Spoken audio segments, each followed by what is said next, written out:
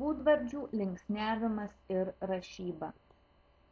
Žinoti būdvardžių linksniuotes, mokėti jomis pasinaudoti. Linksniuoti ir mokėti rašyti būdvardžius. Būdvardžiai, kaip ir daiktavardžiai, linksniuojami nevienodai. Jie skirstomi į tris linksniuotes. Linksniuotėms nustatyti užtenka vyriškosios giminės vienaskaitos vardininko linksnio. Linksniuotės reikalingos tik tam, kad žinodami, kuriai grupiai priklauso būdvardis, galėtume jį tinkamai linksniuoti ir vartoti. Būdvardžių linksniuotės. Kaip jau minėjau, yra trys būdvardžių linksniuotės. Jos nustatomos pagal vienaskaitos vardininko linksnį. Matome pirmos linksniuotės pavyzdžius. Baltas, balta, žalias, žalia. Būdingos galūnės as, a. Antroji linksniuotė gražus, graži. Matome būdingas galūnės us, i.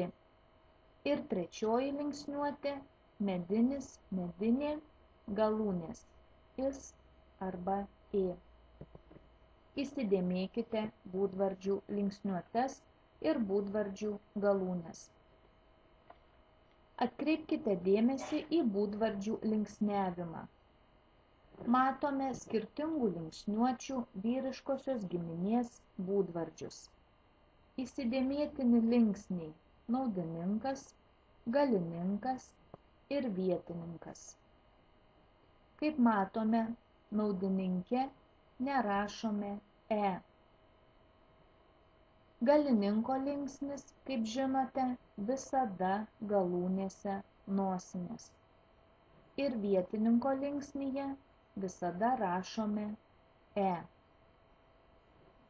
Daugiskaitos vietininko linksnyje dar matome dvi balsį uo, nes tai yra vyriškosios giminės būdvardžiai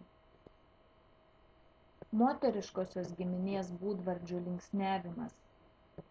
Atkreipkime dėmesį į naudininko, galininko ir įnagininko linksnį.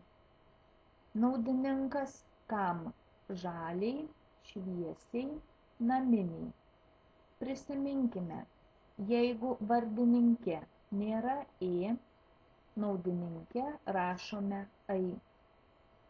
Jeigu vardininkė yra ė, naminė, naudininkė rašysime ei. Galininko linksnis, kaip visada, su nosinėmis. Įsidėmėkite įnagininką. Kuo žalia, šviesia, naminė. Atkreipkime dėmesį į daugiskaitos vietininko linksnį. Tikriausiai prisimenate, kad vyriškosios giminės galūnės su dvibalsiu uo. Čia matome moteriškosios giminės būdvardžius. Todėl galūnėje o. Taip pat nepamirškite, kad vyriškosios giminės būdvardžių vienaskaitos naudininko galūnė am arba minkštumo ženklas ir am. Naujam laukiniam. Taigi įsidėmėkite būdvardžių linksniuotes ir linksniavimą.